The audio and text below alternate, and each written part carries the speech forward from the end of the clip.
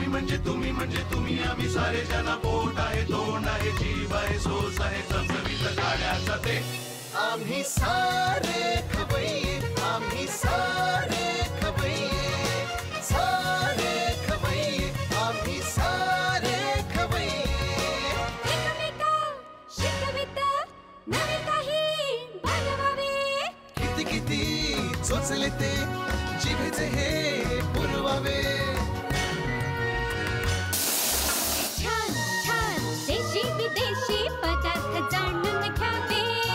चुकता चुकता करता करता खावे, अन खिलवावे। आम्ही सारे खवैये, आम्ही सारे खवैये। सारे खवैये, आम्ही सारे खवैये। नमस्कार, आम्ही सारे खवय्येमध्ये मी, शेफ देवव्रत, तुमच्या सगळ्यांचं खूप मनापासून स्वागत करतो. शकता की रोज मुलांना शाळेत डब्यासाठी काय द्यावं? किंवा मुलं घरी जेव्हा येतात शाळेतनं तेव्हा त्यांच्यासाठी खायला काय बनवावं? हा आपल्याला पडणारा रोजचा प्रश्न आहे. काय आहे की मी जेव्हा पण कार्यक्रमाला जातो ना मला हे विचारलं जातं की अशा काही रेसिपीज सांगा मुलांसाठी त्यांच्या डब्यासाठी वगैरे वगैरे. तर मला माहीत असलेल्या रेसिपी मी त्यांच्याबरोबर शेअर करतच असतो. पण त्याबरोबर ह्या पण काही गोष्टी सांगतो की जेव्हा आपण भाज्या बनवतो ना घरी तेव्हा खूप जास्ती मसाले टाकायचे नाहीत. काय खूप जास्ती मसाले टाकून ना ती भाज्याची स्वतःची जी ओरिजिनल चव आहे ती मारली जाते. त्याचबरोबर आपण रेसिपीज करताना त्याच्या पौष्टिकतेचा नक्की विचार करायचा. कारण खूप जास्ती मसाले आणि इतर गोष्टी असतील तर ते चवीला छान असतील पण पौष्टिक नसतील पोटाला त्रास होऊ शकतो. या सगळ्या गोष्टीचा आपल्याला विचार करायचा आहे. आणि आजच्या ज्या रेसिपीज आपण डिझाईन केलेल्या आहेत त्या सगळ्या गोष्टीचा विचार करूनच केलेल्या आहेत. बघूया कोणत्या रेसिपीज करणार होतो पण आज ते. चला तर मग किचनकडे जाऊया. आपल्याला सगळ्यांनाच माहिती आहे की पालक जो आहे त्याच्यामध्ये खूप चांगले गुणधर्म आहेत. त्याच्यामध्ये लोह आहे फायबर आहे. तर पालक वापरून आपण ढोकळा तयार करणार आहोत. पालक ढोकळा पहिली रेसिपी आपली. आणि आपण दुसरी रेसिपी करणार आहोत एक सँडविचची रेसिपी आहे. सँडविच रोल खूप प्रेझेंटेबल आणि खूप छान असं हे सँडविच असणार आहे. सुरुवात करूया आपल्या पहिल्या रेसिपीला पालक ढोकळा. लागणारं साहित्य आहे. पाण्यात भिजवून घेतलेली चणा डाळ पाण्यात भिजवून घेतलेली मुगाची डाळ घेतली आपण. नंतर गाजर घेतलेलं आहे रवा आहे उकडून घेतलेला पालक आहे पनीर आहे तीळ आहे. इथे आपण हिंग घेतलेलं आहे लिंबाचा रस आहे मोहरी आहे कोथिंबीर आहे शेव. नंतर इथे आपण फ्रूट सॉल्ट घेतलेलं आहे मिरच्या आहेत हिरव्या साखर आहे आलं आहे. नंतर इथे कढीपत्ता घेतलेला आहे आणि मीठ. आता हा जो ढोकळा आपण करतो आहे त्याच्यामध्ये नुसती चण्याची डाळ नाही त्याच्यात मूग पण घेतलेली आहे. याचं कारण हे आहे की पोटासाठी पचण्यासाठी मुगाची डाळ हलकी आहे. त्या दृष्टीने दोन्हीही ज्या डाळी आहेत त्या मी एकत्र घेणार आहे.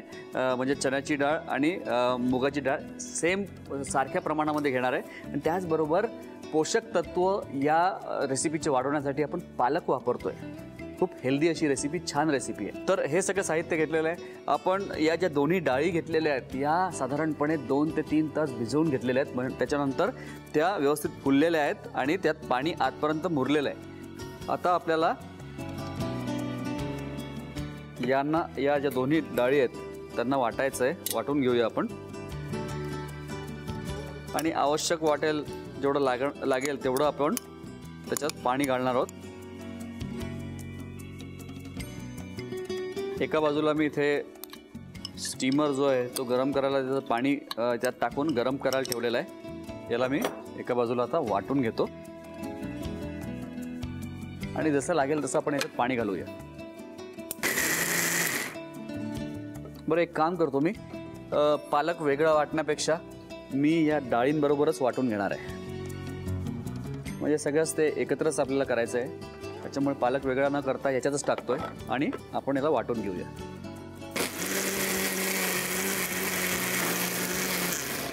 ह्याला एकदम स्मूथ पेस्ट याची करून घ्यायची आपल्याला.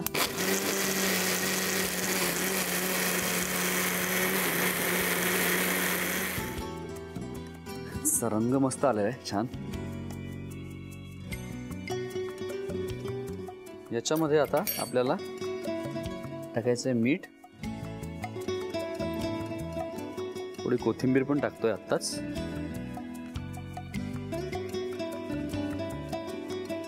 थोड्या मिरच्या. थोडंसं आलं. हे सगळं मी एकत्र केलेलं आहे. पाणी तापतंय तोपर्यंत हा जो मोल्ड घेतला आहे आपण त्याच्यामध्ये थोडं तेल लावूया खाली. गार्निशसाठी वरती टाकायला आपण थोडंसं पनीर वापरणार आहोत गाजर वापरणार आहोत त्याची पण तयारी करून घेऊया.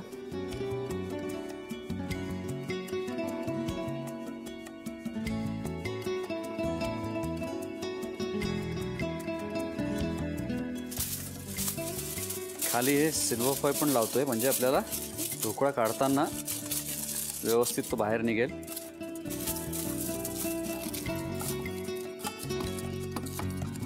टाकतो थोडासा लिंबाचा रस.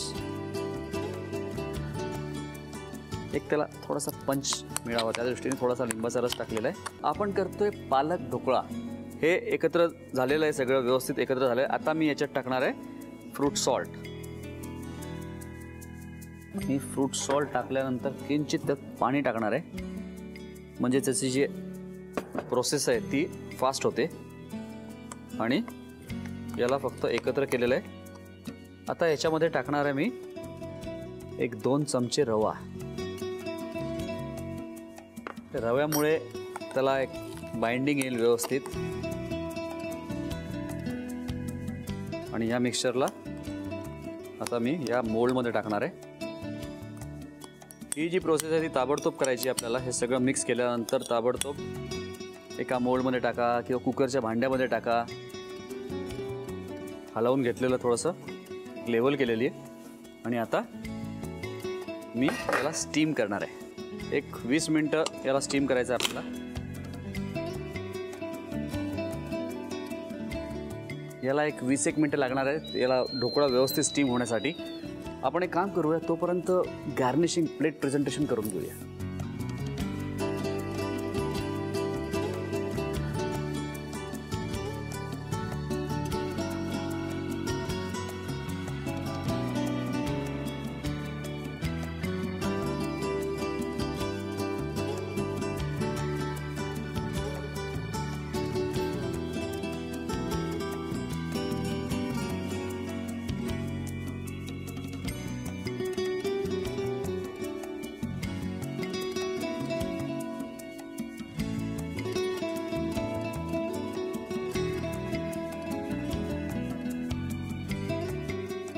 इथे प्रेझेंटेशनसाठी मी इथे जॅम वापरलेला आहे नंतर मस्टर्ड पेस्ट वापरलेली आहे सोया सॉस वापरलेला आहे.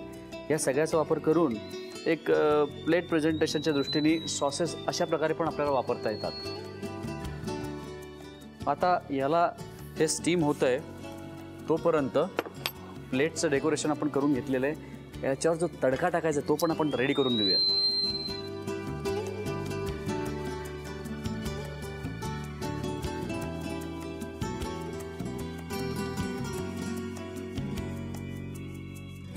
तेल तापत ठेवलेलं आहे. आणि इथे मी या हिरव्या मिरच्या घेणार आहे. मी करी लिव्स थोड्या कापून घेऊया. याच्यात टाकणार थोडी मोहरी.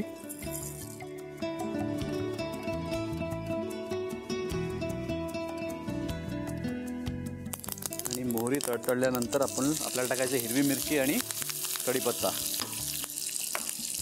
तीळ. आणि याच्यात टाकणार आहे हिंग.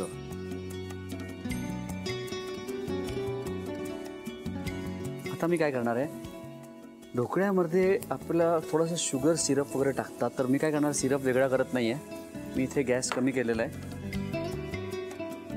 या तडक्यामध्येच थोडं पाणी टाकतो आणि थोडी शुगर साखर. हे मिश्रण इथे मी तयार करून घेतलेलं आहे. आणि आता ढोकळा पण आपला झालेला आहे ऑलमोस्ट आपला आता साधारणपणे वीस ते बावीस मिनटं झालेले आहेत. हा ढोकळा तयार झाला असेल. आहा. मस्त रंग आलेला आहे आणि फुललेला पण आहे छान. याला आता आपण गॅस बंद करूया आणि याला काढून घेऊया.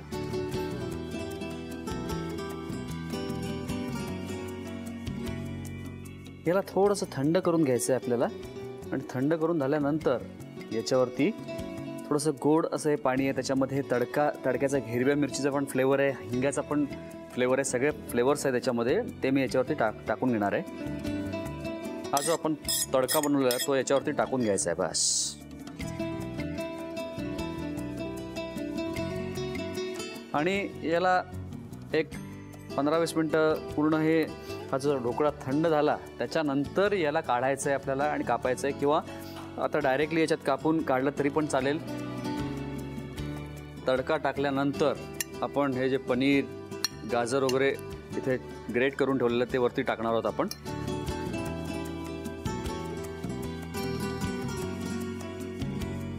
याच्यावर टाकणार थोडी शेव आणि कोथिंबीर. क्या बात आहे मस्त. वा ढोकळा मस्त कलरफुल दिसतोय. मी एक काम करतो याला थंड करून घेतो आणि याला कट करून आपल्या सजवलेल्या प्लेटमध्ये काढून घेतो. तोपर्यंत तुम्ही साहित्य आणि कृती लिहून घ्या. पालक ढोकळा करण्यासाठी लागणारे साहित्य भिजवलेली चणा डाळ भिजवलेली मूग डाळ उकडलेली पालकची पानं पनीर रवा गाजर तीळ हिंग फ्रूट सॉल्ट चिरलेलं आलं बारीक चिरलेली कोथिंबीर मोहरी साखर कढीपत्ता शेव लिंबाचा रस बारीक चिरलेली हिरवी मिरची आणि मीठ. कृती प्रथम मिक्सरच्या भांड्यात भिजवलेली मूग डाळ. चणा डाळ आणि उकडलेली पालकची पानं घेऊन त्याचं वाटण करून घ्यावं. डाळींचं वाटण एका बाउलमध्ये घेऊन त्यामध्ये मीठ बारीक चिरलेली कोथिंबीर बारीक चिरलेली हिरवी मिरची चिरलेलं आलं फ्रूट सॉल्ट दोन चमचे रवा आणि पाणी घालून सर्व मिश्रण नीट एकजीव करून घ्यावं. एका भांड्याच्या आतील भागात सिल्वर फॉइल पेपर पसरवून घ्यावा. तयार पालकचं मिश्रण त्या मोल्डमध्ये ओतून स्टीमरमध्ये वीस मिनिटं वाफवून घ्यावं. एका खोलगट पॅनमध्ये तेल गरम करून त्यामध्ये मोहरी हिरवी मिरची कढीपत्ता तीळ हिंग थोडंसं पाणी आणि साखर घालून फोडणी तयार करून घ्यावी. तयार फोडणी वाफवलेल्या मिश्रणावर घालून त्यावर किसलेला पनीर गाजर शेव आणि कोथिंबिरीची सजावट करून पालक ढोकळा ही डिश सर्व्ह करावी. आपण एक मस्त ढोकळ्याची रेसिपी बघितली. आता वळूया पुढच्या रेसिपीकडे आता आपण करणार आहोत एक सँडविच रोल सँडविचेस सगळ्यांना आवडतात. आणि ही पण रेसिपी ही पण हे पण सँडविच तुम्हाला सगळ्यांना आवडेल.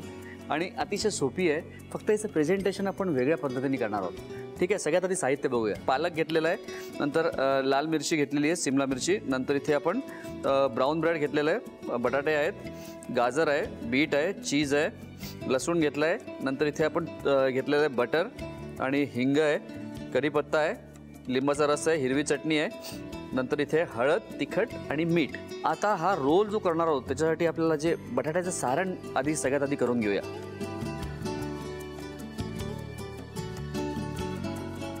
थोडंसं तेल घेतो इथे. त्याचबरोबर हे जे आपण पालक घेतलेलं आहे नंतर ही लाल मिरची घेतलेली आहे ढोबळी मिरची जी घेतली आपली सिमला मिरची घेतलेली आहे आपण रेड पेपर त्याला आपण कट करूया. हे बघा म्हणजे आता हा काय रेसिपीचा दरवेळी आपल्याकडे कलर्ड पेपर वापरली पाहिजे असल्याला काही भाग नाही आहे एक रंगसंगती छान दिसावी त्या दृष्टीने इथे वापरतोय मी. हे नसेल तर आपल्याला टोमॅटोचे स्लायसेस पातळ असेच करून ते पण आपल्याला वापरता येतील. इथे पालक पण मी चिरून घेतोय. त्याचबरोबर या चार पाच जे ब्रेडचे स्लायसेस आहेत त्याच्या मी कडा कापून घेतोय.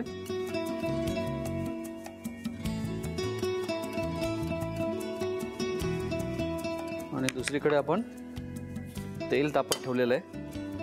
त्याच्यामध्ये कढीपत्ता टाकलेला आहे. थोडं लसूण टाकतोय. लसूण थोडंसं ब्राऊन झाल्यानंतर त्याच्यात टाकणार आम्ही मी थोडी हळद लाल तिखट आणि थोडं मीठ. अतिशय सोप्या पद्धतीची अशी ही एक बटाट्याची भाजी मी करून घेतोय. बस. आणि आता ते गॅस बंद करतोय.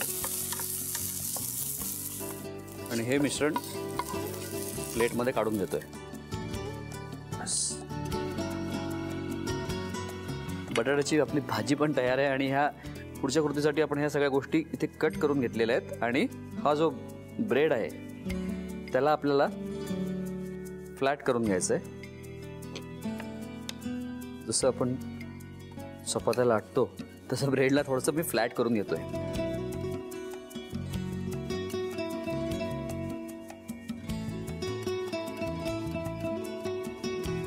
हे झाल्यानंतर आपल्याला सगळ्या ब्रेडच्या स्लायसेसला थोडंसं बटर लावून घ्यायचं आहे.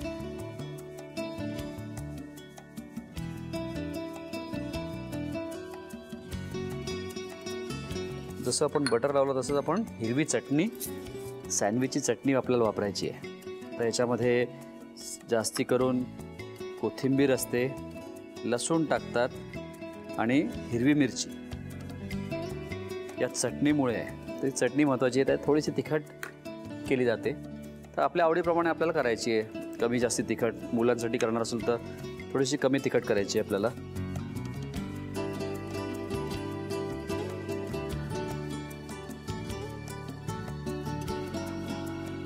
पास हे झाल्यानंतर आता आपल्याला फक्त याच्यामध्ये बाकीच्या गोष्टी भरत जायच्या आहेत. ज्या ज्या गोष्टी आपण तयार केलेल्या आहेत. वा भाजीचा वास तर एकदम मस्त येतोय. हे करताना एवढं बघायचं की जे लेयर्स आपण टाकतोय ना ते साधारणपणे एकाच साईजच्या सगळ्या गोष्टी टाकायच्या आहेत. एकीकडे जास्ती एकीकडे कमी असं नको. आता आपण टाकूया गाजर. पण गाजर टाकायच्या आधी टाकू थोडंसं लिंबाचा रस आणि मीठ. नाही तर एकदम ब्लँड लागणार नाही त्या दृष्टीने.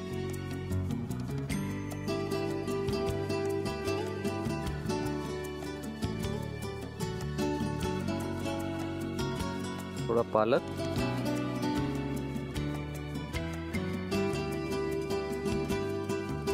कलर्ड पेपर्स लाल लालवाल्या आपल्या ज्या आहेत मिरच्या त्या टाकतोय आपण. कलर्ड पेपर्स थोडं बीट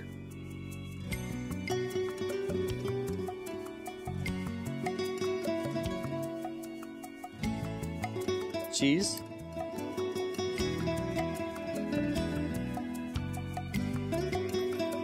आणखीन थोडासा कलर वगैरे ॲड करायचा असेल तर माझ्याकडे आता अनायसे रेड कॅबेज आहे मी वापरणार आहे. आता सगळ्यात महत्त्वाची गोष्ट म्हणजे याला फोल्ड करायचं आहे. आता याला फोल्ड करताना ना सगळीकडनं एकसारखं रोल करायचं आहे. हे बघा याला हाताच्या बोटाने इथे पहिले दाब द्यायचा वरच्या बाजूने इथे. असं.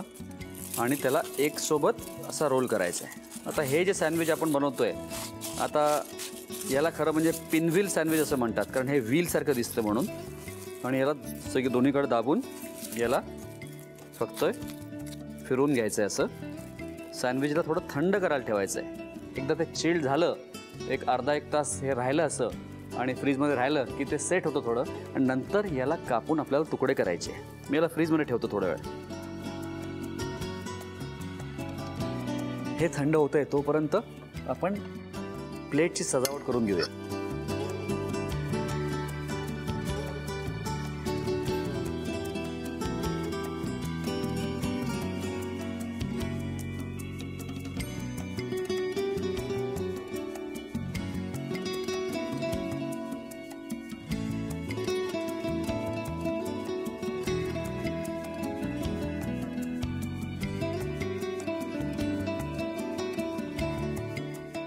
मला वाटतं सँडविच रोल आता सेट झाले असतील आपण काढून घेऊया.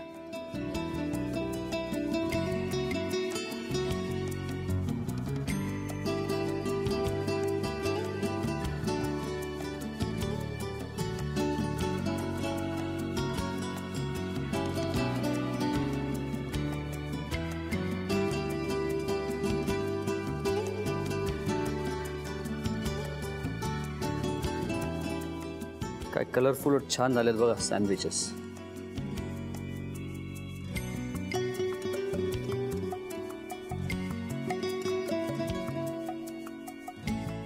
असे जर सँडविच रोल तुम्ही डब्यामध्ये दिले तर कोणाचीच कंप्लेंट राहणार नाही बघा.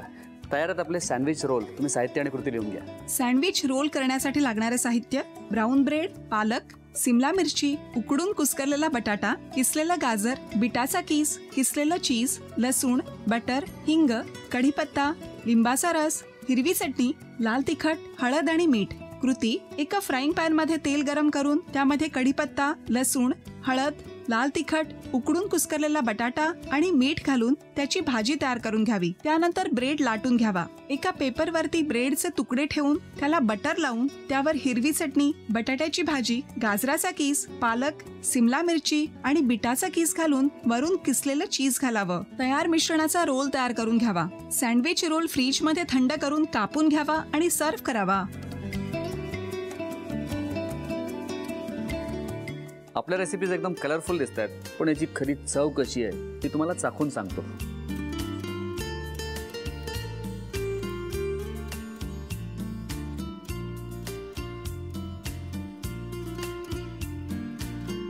या ढोकळ्यामध्ये मला वेगवेगळ्या चवी लागत आहेत याच्यामध्ये एक किंचचा टँजिनेस आहे जो लिंबामुळे आहे. त्याचबरोबर जो तडका दिला आहे त्याच्या चवी आहेत मोहरीची चव आहे. त्याचबरोबर किंचित शुगर घातली आहे आपण साखर घातली आहे त्याची चव आहे गोडसर किंचित सा आहे चव. त्याचबरोबर खाताना मला आलं पण लागलं आणि मिरची वा सगळं मिळून आणि त्याचबरोबर डाळी पण आहेत. सगळं मिळून एक मस्त कॉम्बिनेशन झालं आहे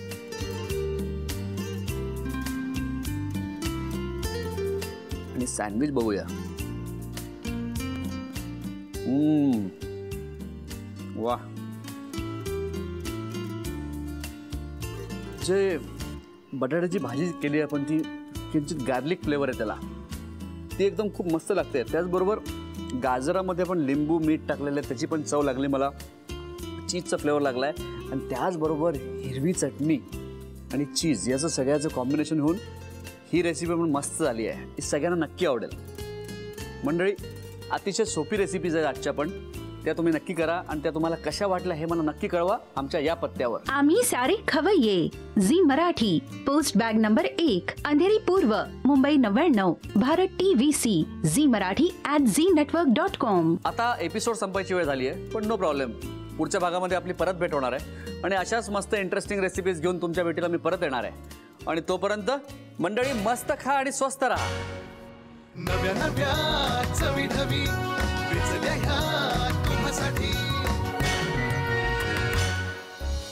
हवे हवेचे पंगत किस्से तुम्हाला आवडावे. खाणाऱ्याने खात राहावे.